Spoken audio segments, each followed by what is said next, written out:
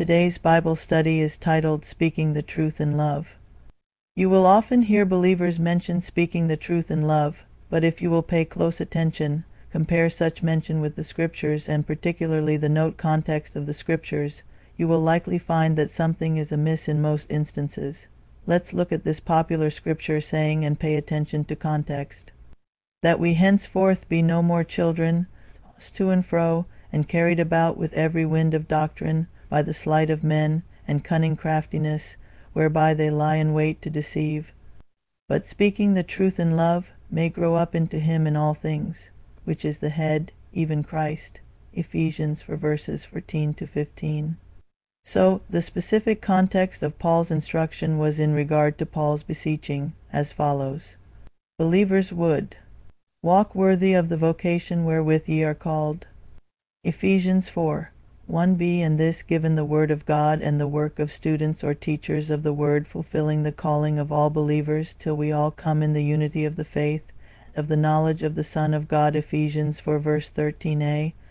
And the goal of understanding the Word of God in this regard was that the believer would henceforth be no more children, tossed to and fro, and carried about with every wind of doctrine, by the sleight of men, and cunning craftiness whereby they lie in wait to deceive Ephesians four verse 14. In other words, the goal was that believers are to study to shew thyself approved unto God two Timothy 2 verse 15 and thereby be able to handle their Bibles and thus be a workman that needeth not to be ashamed, rightly dividing the word of truth two Timothy 2 verse 15. With these as givens, then and only then will the believer or student of the Word be such as can be speaking the truth in love and thereby grow up into him in all things, which is the head, even Christ Ephesians four verse 15. Thus, what is described here is the walk of a believer from truth in which said believer has first rested, with the result being an understanding of God's Word doctrine and thus a believer who is mature, having fully rested belief, based on a rightly divided understanding of that Word doctrine.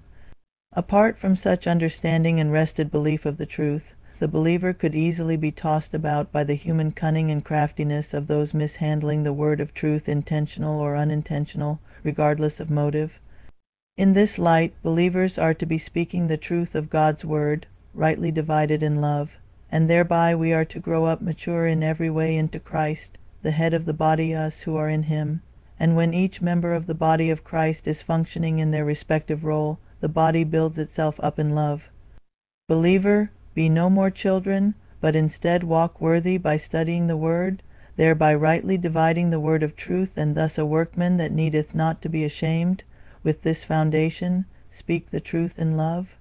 Thank you for watching to today's Bible study.